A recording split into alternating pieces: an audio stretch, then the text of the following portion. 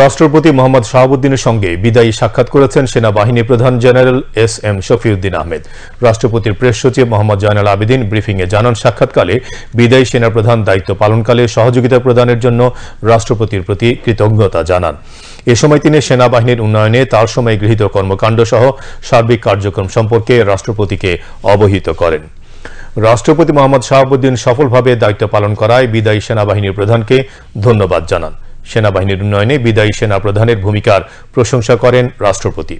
সাক্ষাৎকালে রাষ্ট্রপতির কার্যালয়ের সচিব মোহাম্মদ ওয়াহিদুল ইসলাম খান এবং সামরিক সচিব মেজর জেনারেল মোহাম্মদ আদিল চৌধুরী উপস্থিত ছিলেন।